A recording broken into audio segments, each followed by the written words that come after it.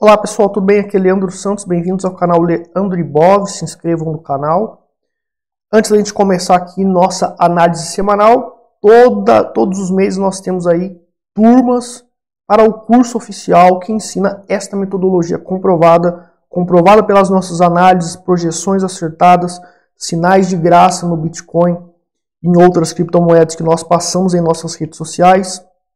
Para você aprender essas técnicas fazendo o nosso curso, você aprende sobre a funcionalidade de todos esses mercados e, além disso, você aprende como operar, fazer trade né, e ganhar com a oscilação para cima ou para baixo e também criar para criptomoedas exclusivamente uma criptocarteira fundamentada em um método fundamentalista que eu desenvolvi e que é comprovado porque nossa criptocarteira que começou em 2017 já lucrou muitas criptomoedas, algumas criptomoedas lucraram 10 mil por cento, e o pessoal, os inscritos do grupo secreto de sinais lucraram. Está o link provando que eu indiquei no passado uma certa criptomoeda e ela atingiu o alvo projetado desde 2018, né, que entrou em 2018 esse token. E você, pelo nosso curso, aprende a criar essa criptocarteira. O grupo secreto de sinais é grátis para quem compra o curso. Lá tem os sinais da criptocarteira no momento certo para você comprar e os sinais de trade para todos esses mercados. E você pode comprar o grupo secreto de sinais separado também, tá? Então vamos começar aqui nossa análise semanal, né? Então vamos aqui à análise do Bitcoin, né, e a projeção do Bitcoin. Nas nossas redes sociais, primeiramente, né, foi falado na semana passada. Então, se inscreva no meu Telegram, Facebook, Twitter, porque eu não faço só vídeo. Eu passo instruções técnicas por fotos e por textos lá em redes sociais. Né? É, tem um sinal que eu passei semana passada. Demorar para eu achar, hein? Olha lá, ó. Foi o que? Há uma semana, ó, rompimento legítimo na congestão do diário. Isso aqui é para o Bitcoin, né? Eu não sei o que aconteceu aqui. E foi projetado que o Bitcoin, a partir daí, eliminou essa congestão, né? E que teria espaço e força para subir. Não estava com uma força extrema, mas já era uma força maior. Então, a estratégia de holding no Bitcoin, do qual já não tem custo-benefício bom, eu recomendei comprar pesado abaixo dos 10 mil, 4 mil, 10 mil. Hoje já está com custo-benefício ruim o Bitcoin está caro para ele subir mais, para ele subir 10 mil, 30 mil por cento, para ele chegar a 1 milhão de dólares cada Bitcoin. Ele requer 20 trilhões injetados nele, e isso é uma quantidade muito difícil de, de ser atingida, não é impossível, mas é muito difícil. É...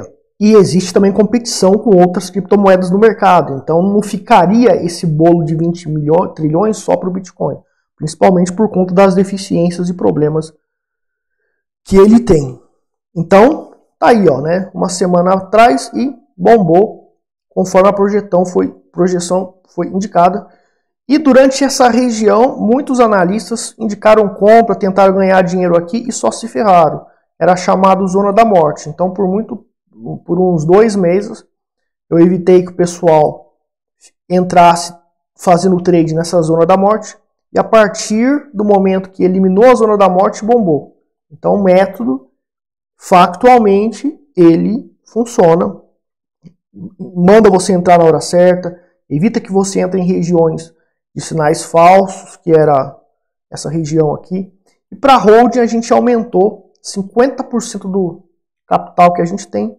A gente vai comprar criptomoedas, no caso o Bitcoin para longo prazo, e o Dash e a Nano que estão em sincronia com a alta do Bitcoin. O Bitcoin subindo, Dash Nano, que são criptomoedas competitivas em relação ao Bitcoin, que tendem a ficar na cola do Bitcoin, e mesmo que não fique em primeiro lugar, elas tendem a valorizar muito. Então, comprando Dash e Nano hoje, quando atingir o alvo de cada uma delas, que eu vou falar daqui a pouco, então você tem um potencial de lucro é, incomparavelmente melhor, né? Então, é, tá aí, ó, né, a consolidação foi eliminada. Nós temos o padrão três soldados brancos, né? É um padrão de início de tendência de alta ou de continuação de tendência de alta. E ocorreu exatamente em um contexto que é um contexto de suporte, e logo após eliminar a congestão do diário, fez o padrão Three White Soldiers, né? Bullish Three White Soldiers, que é, é os três soldados brancos. Então, na próxima correção que ocorrer, pode ocorrer o sinal Eagle de continuação do Bitcoin, se ocorrer somado a esse padrão três soldados brancos. Somada a probabilidade de 60% do Bitcoin dar, um sinal, dar esse sinal Eagle aqui, aliás, de continuar a tendência de alta, perdão, a chance desse sinal ocorrer e aumentar de 60% a 80% de probabilidade da tendência não só continuar, mas fazer três ondas de alta de novo, podendo fazer a quarta e a quinta, mas eu só vou saber quando fizer a terceira. Igual o método acertou a partir desse sinal aqui. Vai fazer três ondas de alta pelo menos e poderá continuar. Quando chegou aqui, eu alertei que faria essa e faria essa, né? Daí quando fez essa, eu falei, pode parar porque agora o mercado pode desabar. Fez aí por inércia mais topos, muita gente mandando comprar no topo e daí houve o desabamento. O crash aqui, no caso, nem é um crash, isso aqui é uma, apenas uma correção, né? Então o método funcionou no passado, e tende a funcionar de novo como sempre funcionou. Né?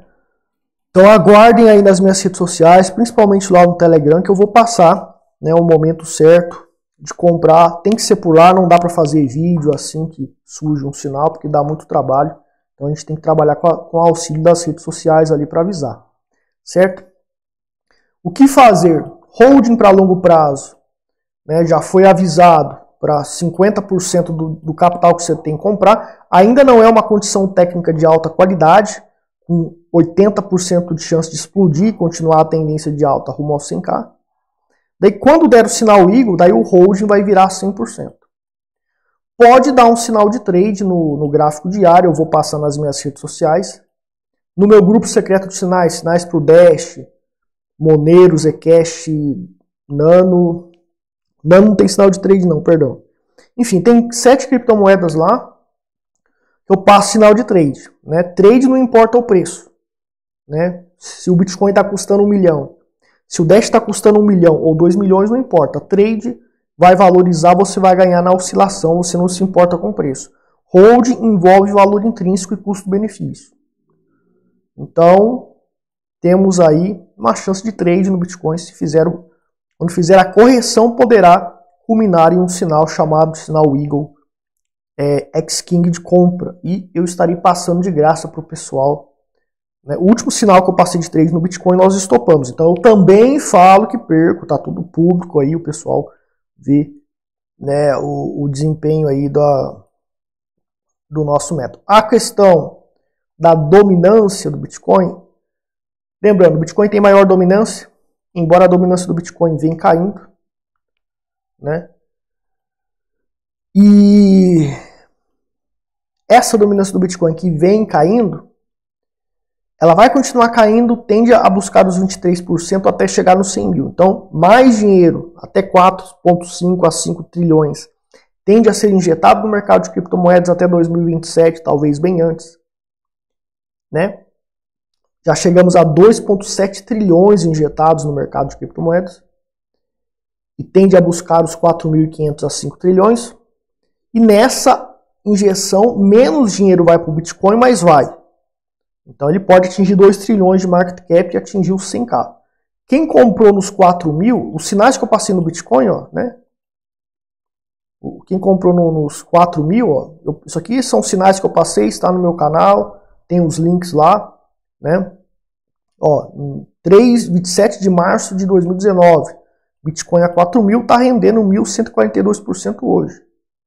Né? Quando atingir os 100 mil, você vai ganhar uns 2.500% mais ou menos. Cai fora pelo menos 50% ou tudo, porque ali no 100 mil vai começar a empacar, a coisa vai começar a ficar feia. O Bitcoin vai ter muita dificuldade para valorizar e você não vai ter valorizações extremas de 10, 30 mil por cento. São as altcoins específicas que têm valor intrínseco.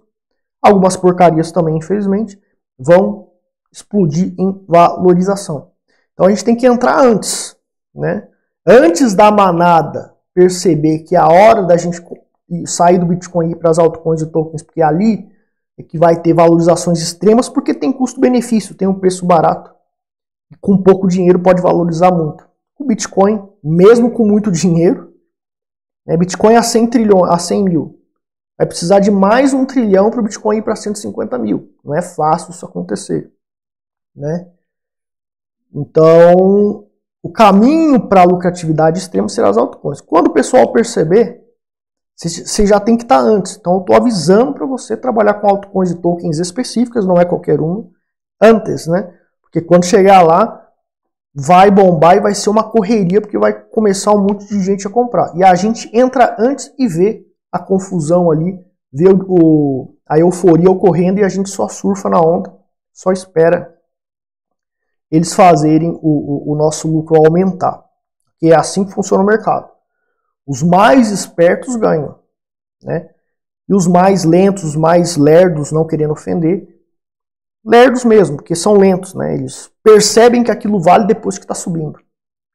Né? O Ethereum ficou caindo absurdamente por muitos anos, enquanto o Bitcoin subia e ficava ali estável. E o pessoal do YouTube de criptomoedas, tudo falando só de Bitcoin, Bitcoin, Bitcoin, Bitcoin.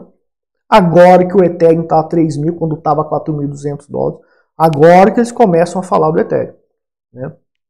Tarde demais, mais ou menos, porque o Ethereum, com essa diminuição de tokens dele, né, ele, com essa diminuição de tokens dele, por conta do novo sistema que foi implementado nele, o London, Está queimando Ethereum, então está diminuindo a quantidade de Ethereum. Então, um trilhão injetado no total de, to de tokens Ethereum que estava na rede, né, total máximo, o Ethereum poderia chegar a uma certa valorização. Mas um trilhão em menos token, em menos quantidade de tokens que terá, a valorização tende a ser extrema. Né? Então, com essa diminuição do, da quantidade de tokens que existe na rede de Ethereum, vai favorecer muito a, ao potencial do Ethereum chegar, inclusive, a, a superar o Bitcoin. Porque para o Ethereum superar o Bitcoin Market Cap, tudo bem, isso é viável. Né? Mas para o, o Ethereum passar em preço o Bitcoin, ou seja, o Bitcoin ele passa, ele tem 45 mil, e o Ethereum, para ele chegar a 45 mil, para ele chegar a 10 milhões, né? 10 mil, perdão, ele precisa de 1 trilhão. Então ele precisaria de 6 trilhões aí, 5 trilhões para chegar a 45 mil. E o Bitcoin tem cerca de 1 trilhão aqui nele para chegar a 50 mil, 60 mil. Então com 1 trilhão, o Ethereum diminuindo os tokens, ó, no longo prazo vai diminuir bastante, ele pode chegar no, no, no, nos 45 mil, sim. Muita gente está falando que o valor intrínseco do Ethereum 50 mil, é viável, mas no longo prazo. Tem que esperar diminuir a quantidade de, de, de tokens na rede. Né? E era para ter comprado bem antes. Dá tempo de comprar agora. O custo-benefício até 50 mil é viável, mas né? Ah, o ideal era ter entrado lá quando estava a 100 dólares, né? E talvez nunca mais volte para aquele ponto lá, né? Então, o Ethereum, né? A gente vê o custo-benefício comprovado que o Ethereum é mais fácil você ganhar dinheiro no Ethereum, mais fácil você ganhar dinheiro é, percentualmente, muito mais dinheiro no Dash na Nano, comprovado pelos fatos. Há um ano atrás, quem comprou o Bitcoin está lucrando apenas 57%, que não é ruim. Mas a Nano você está ganhando 400%, o Ethereum 322%, o Dash não está valorizando muito né? É, em termos de percentual de lucratividade, não está dando tanto lucro. Mas com 200 bilhões de market cap, o Dash chega a 10 mil dólares. Então, quem comprou pelo preço de 100 dólares aí vai ganhar 10 mil por cento com Bitcoin. Né? Se o Bitcoin chegar a 1 milhão de dólares e você comprou o Bitcoin por esse preço, você não ganha 10 mil por cento. Você vai ganhar ali uns uns 2 mil por cento e pouquinho, né? Ah, o Bitcoin teve um trilhão injetado, chegou a 100 mil. Tá bom, amigo, você ganhou 50% só. Você ganhou 100%, perdão. Né? Um pouco mais de 100%. Quando o Bitcoin chegar a 100 mil, quanto de dinheiro vai ser injetado no Ethereum, Dash e Nano, né? Elas não precisam estar em primeiro lugar para você ganhar uma fortuna com elas. Então é aquela história de você querer trabalhar numa empresa grande, é a melhor empresa, é a mais rica, o presidente é o mais rico, é a mais luxuosa, e você é tratado como um cachorro nessa empresa. Aí tem aquela empresa de qualidade, que é de fundo de quintal, é simples, mas é uma empresa que tende a crescer, ou seja, não é uma empresa que você vai ganhar muito mais, mas é uma empresa que pode quebrar a qualquer hora e você vai ficar desempregado. É uma empresa que tem potencial de crescer no mercado, nunca vai ficar acima da empresa que está em primeiro lugar, mas ela vai continuar crescendo e o seu salário vai continuar crescendo, a sua carreira vai continuar crescendo. Eu prefiro ir para essa pequenininha do que ir nessa grandona, onde você é humilhado, onde você é tratado como um lixo, você ganha uma miséria e a empresa é bilionária, é milionária. Então é isso que está acontecendo no mercado de cripto hoje. As pessoas estão ali querendo ir para o Bitcoin porque o Bitcoin tem maior market cap e é o que tem o preço maior. Né? Você vai ficar pobre, amigo. Você vai ganhar pouco. Tá? Você vai ganhar pouco. Se você for aí na onda do, da manada que tá. Muita gente está mandando comprar Bitcoin porque ele quer que, que ele quer ganhar dinheiro em cima de você. Tá? Essa é a verdade que está acontecendo. Mas não adianta ele querer influenciar, porque o mercado vai perceber e vai. As certas altcoins e tokens vão realmente explodir. Tem uma chance muito grande de explodir. Absurdo, milhares e milhares de por cento. Muito bem, então pessoal, a gente falou aqui né, a questão de valor intrínseco, custo-benefício, continua praticamente do mesmo jeito, né? Só Dash Nano aí no gráfico continua ali na mesma condição. Não mudou muita coisa, né? Destinando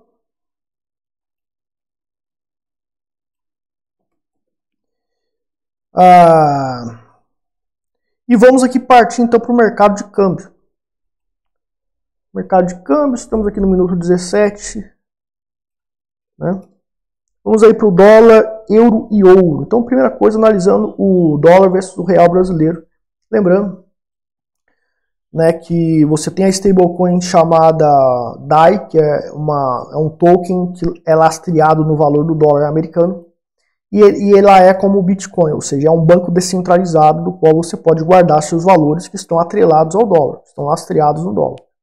Seus tokens que têm o mesmo valor que o dólar. Então você fica com seu patrimônio protegido e o dólar tem uma estabilidade incomparável em relação à criptomoeda. A criptomoeda é muito volátil. Em, uma, em duas semanas pode cair 50%.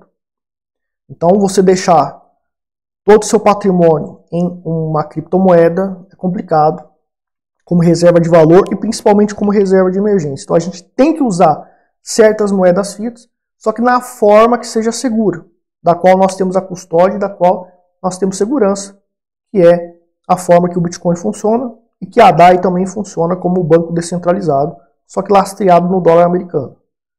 Então a gente tem aí, o, o, fez no caso a pinça de topo, né, ameaçando cair, e mudou de novo, fez aqui o, do, o martelo positivo, parecido com o doji pernalta, indicando suporte aqui, né, e esse fundo então ele já não está tão visado pelo preço, o preço está tendendo aí para cima. Se romper esse topo aqui, meu amigo, aliás, se romper esse topo aqui, ó, esse pivô de baixa, que por inércia tende a fazer o preço a tentar romper esse fundo e continuar a tendência de baixa, ele é neutralizado quando rompe esse topo. Este topo está localizado aqui em 5.31. Rompeu 5.31, mercado ele tende aí a virar tende a assumir uma força compradora extrema, também vai depender do meu indicador, o que, que ele for fazer aqui. E pode, então, reiniciar a tendência de alta e o dólar, então, ir para cima. É bom porque as criptomoedas tendem a valorizar mais também, né? Quando o dólar sobe. Só que o nosso país vai sofrer muito. Né? As coisas vão ficar muito caras. O nosso país vai sofrer muito. Mas é uma realidade, eu não posso mudar a realidade. Não é porque eu quero que o dólar fique estável, não passe desse preço que ele vai ficar. Então, dólar, essa é a situação. O euro, né? Novamente, o euro ele estava ali com não só o euro, mas a libra britânica estava ali ameaçando a soberania do dólar. está em tendência de alta no gráfico semanal. Foi acertado pelas minhas análises, né? O pessoal lembra aqui no YouTube que ia fazer mais pelo menos três ondas de alta, duas, duas fez, né? E existe a terceira que ainda existe a probabilidade. Mas esse padrão aqui, que é um padrão, primeiro que a gente tem esse pivô de baixa que por inércia tende a fazer o preço atestar o suporte que sustenta a tendência de alta do euro. Né? E fez esse marobozu aqui, após esse topo ser concluído, indicando que o preço tem força para testar esse suporte. Se romper, então entra em tendência de baixa e novamente o dólar começa a subir, entrar em tendência de alta de novo em relação a todas as moedas fiat do mundo, não só o euro. Então, novamente, o dólar americano continua em primeiro. Eu acredito que a gente tem que torcer para que o dólar americano continue em primeiro lugar de valorização a nível mundial no câmbio, porque nós temos a stablecoin DAI lastreada justamente no dólar americano, que funciona como a blockchain segura do Bitcoin e que funciona como um banco descentralizado para a gente guardar dólares. Ou seja, você pega o seu dinheiro do banco, manda para uma exchange ou um P2P, compra tudo em DAI, você tem dólares ali, onde a qualquer momento você troca. O problema é que o câmbio do DAI é caro, né? Geralmente cobra caro para você cambiar DAI para outra coisa. Então, tem que ser algo de longo prazo, ou seja, daqui a 10 anos também que eu vou tirar minha reserva de valor. E reserva de emergência, se é emergência, a gente paga o câmbio lá. Né? Mas se você tiver a sorte de você usar sua reserva de emergência daqui a dois anos, o dólar pode estar sete reais lá e você está com seu dinheirão em dólar, enquanto você fugiu do banco que está tudo em real, né? Então vamos ver, né? Tudo está indicando aqui que vai desabar, né? E vamos aqui então aguardar. O ouro, muita gente está falando, ah, aconteceu um crash no ouro, aconteceu um crash no ouro. Não tem crash nenhum, gente. Né? Não tem crash nenhum. Isso aqui é uma correção normal, a gente está em tendência de alta aqui ainda. Fortemente o preço voltou e vem formando um martelo positivo, negativo, aliás indicando que a tendência de alta no semanal, que fica no suporte é, da média móvel aqui de 1.000 e 1.740, foi fortalecido então essa queda somada à alta posterior, fechando a semana desse jeito, vamos ver se sexta-feira fecha desse jeito o ouro, o suporte da tendência de alta que sustenta o ouro fica mais forte ainda. Então a tendência de alta e continua a probabilidade do ouro dentro aí, acho de um ano chegar. A gente está olhando o gráfico mensal, né? Para fazer uma onda de alta rompendo esse topo e chegando no alvo, que é em 2.200 dólares, dólares aqui, levar um ano mais ou menos para isso acontecer. Então, compra de ouro para longo prazo, principalmente que agora que caiu, é bom, né? Trade no ouro é viável também ocorrer sinais de trade, mas vamos aguardar essa semana fechar desse jeito. Então aqui vai formar uma região de suporte muito forte. Você no ouro, então, pode se posicionar para fazer trade. Claro que você vai ter que analisar padrões e condições lá no gráfico inferior de swing trade, de, do gráfico diário, gráfico de 4 horas e 60 minutos, para você então fazer trade comprado para ganhar em grandes tendências de alta que nesses gráficos inferiores tendem a ocorrer, auxiliado pela psicologia de suporte que o, o gráfico semanal apresenta. Então essas aqui são as coordenadas aqui para o ouro, né? E vamos aqui ao Ibovespa versus o Dow Jones. 23, 24 minutos. O Ibovespa, né? Ibovespa volta aqui a se recuperar. Bolsa brasileira volta, perdão, não volta a se recuperar necessariamente não, né? Então a gente tem ó, onda 1, a, a segunda onda, né? Lembrem que a partir desse ponto eu indiquei que faria as três ondas de alta e foi acertado. O método acertou a tendência de alta com pelo menos três ondas de alta. E o trader profissional, sabendo dessa probabilidade, né, nessas ondas aqui, ele ou seguiria tendência. No, no, nos contratos de, de mini índice não tem como você ficar tanto tempo posicionado, porque ele tem o tempo de dois meses mais ou menos. Mas daria para você fazer trades aí surfando nessa tendência de alta em gráficos inferiores de 4 horas, 60 minutos, etc., com base na projeção do semanal que ajudaria nisso. Só que fez o sinal de correção dessa tendência de alta, que é o chamado correção ABC ou ABC apocalíptico, que vem já se estabelecendo, já foi estruturado. Pode se estender mais, né? É, só que não tem indícios de que vai se estender mais, então a gente teria que acompanhar. Quando esse ABC apocalíptico aqui, ele indicar que vai parar, a gente pode se posicionar comprado, porque a tendência de alta tem 60% de probabilidade de dar um sinal de continuação e continuar a tendência de alta aqui no Ibovespa e a bolsa também continuar subindo. Mas vai depender se vai confirmar esse padrão. Então, o que fazer nessa situação? Situação ambígua, não fazer nada. Vamos ficar aqui de braços cruzados, não fazer nada. Nós temos uma condição ambígua e em condição ambígua a gente não pode operar, tá? E o, o Dow Jones, lembrando, Dow Jones influencia no Bitcoin e criptomoedas? Não. Pela minha estratégia, nunca precisei analisar o Dow Jones e tá com essa probabilidade, pessoal, de fazer o ABC apocalíptico aqui. Pode fazer uma correção até os 30 mil, até a média móvel aqui. E continua com essa probabilidade. O sinal, claro, de que está fraco é o quê? Candles pequenos né, o ABC apocalíptico ele foi projetado, acionado para ocorrer essa queda.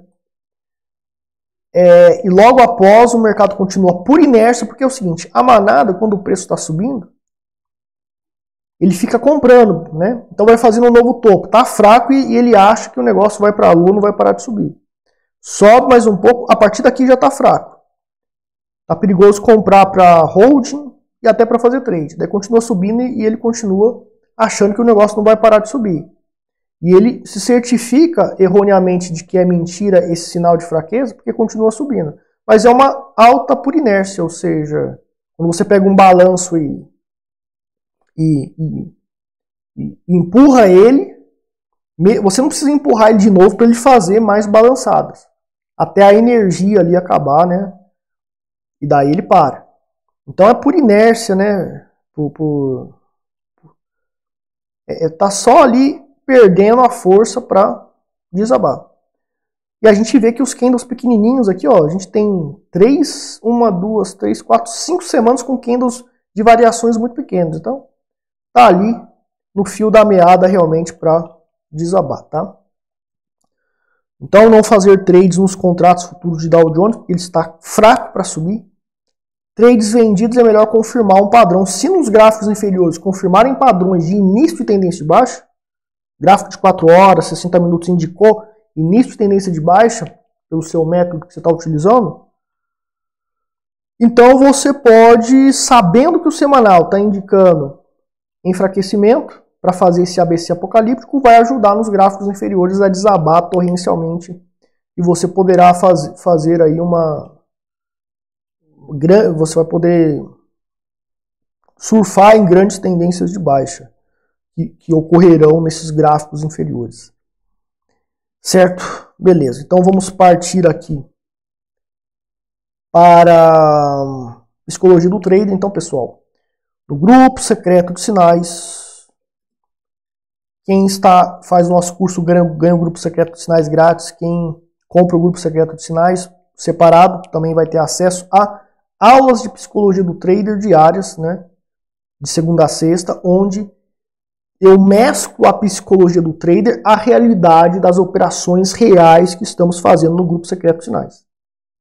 Então, durante a operação da BNB, que deu 10 mil por cento de lucro, compramos a 5 dólares e bombou para. É, foi a compra, uma das dos sinais de compra foi a 5 dólares e atingiu os 500 dólares, que era o alvo projetado para a BNB a operação foi encerrada. Poderia ficar ainda na BNB 50% do que foi investido ali. Então é um sinal comprovado. Você entrando para o grupo secreto de sinais, você vai ver o link lá onde eu avisei, alertei que ocorreria isso e ocorreu. Então é um método comprovado. Ah, é 10 mil por cento propaganda enganosa? Não é. Então, só que é longo prazo, né? Bom deixar isso bem claro. E durante toda essa operação da BNB foi dado toda a psicologia do trader necessária para manter a pessoa disciplinada. Que a pessoa fica vendo, ah, vê todos os gurus de criptomoedas do YouTube brasileiro ou internacional falando de Bitcoin, Bitcoin, Bitcoin, porque é aquilo que está subindo mais, está subindo mais. E daí a pessoa, né, ela acaba aí sendo influenciada e sai, saiu da BNB, por exemplo, e dançou, né? Ficou pobre aí com Bitcoin porque comprou caro. Tinha que ter comprado antes, quando tinha custo-benefício e valor intrínseco viável para aquele custo dele.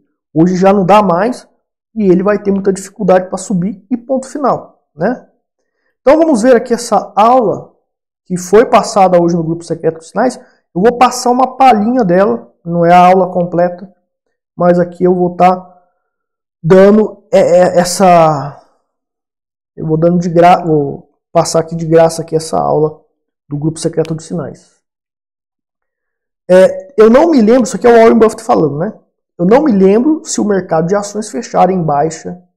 Perdão. Eu não me importo se o mercado de ações fechar em baixa durante 10 anos, diz o Warren Buffett. Isso aqui se trata de um dos homens mais ricos do mundo, um dos investidores mais bem-sucedidos do mundo, comprovadamente administra fundos, etc. Ele está dizendo, não importa, o mercado está caindo por, por 10 anos, não me interessa. O meu método está dizendo que isso que está caindo por 10 anos tem é, valor intrínseco para tal. Então eu estou comprando, fazendo compras, compras, compras.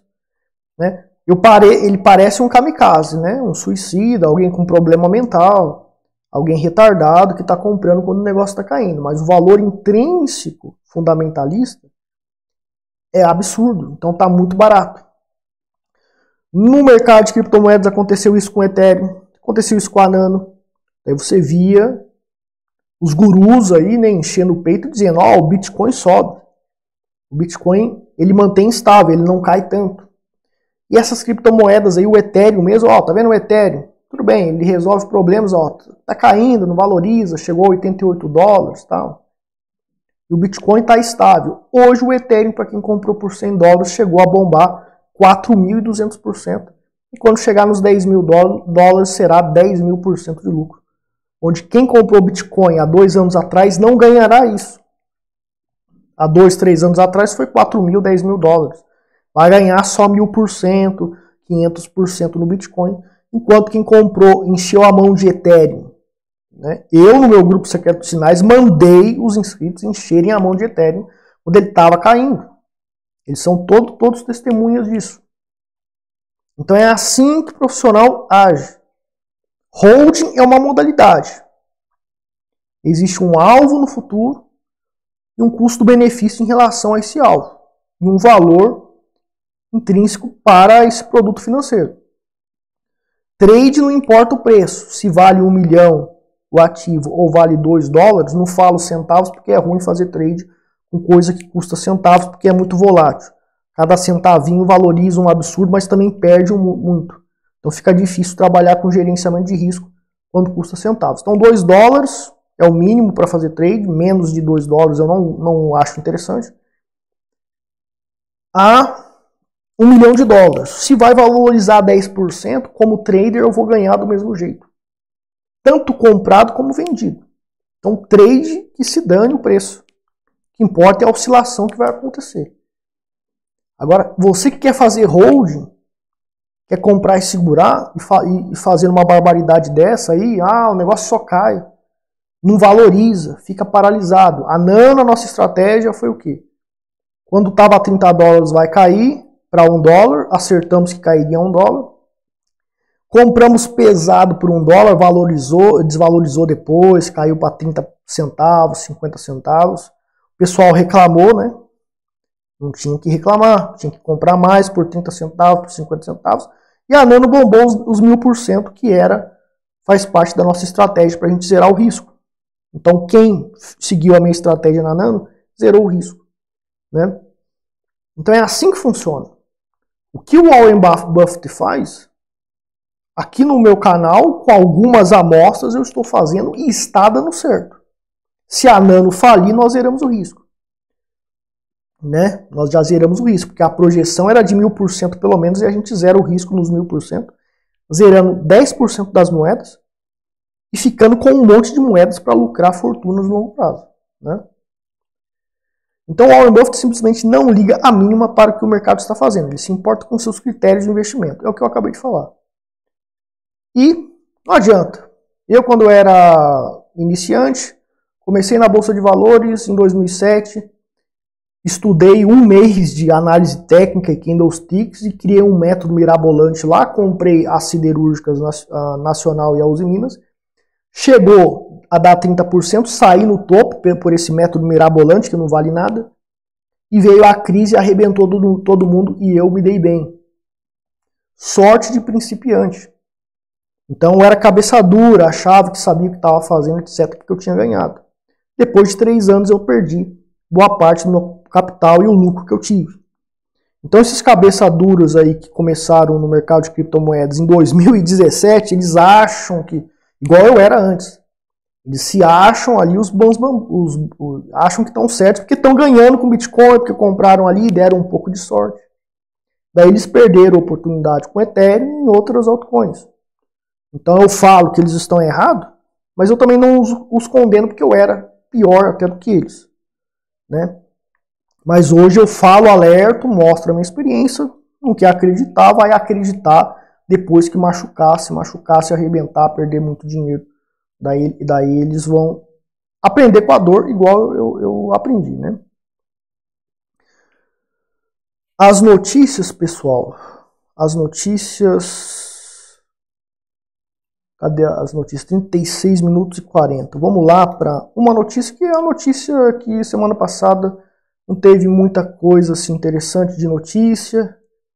Não postei nenhuma análise de nenhuma notícia, né? Só a psicologia do trade aí e a questão do Ethereum que sofreu atualização e que eu já falei aqui no, na nossa live que ele primeiro que ele tende a abaixar as taxas, segundo que vai diminuir a quantidade de etéreos.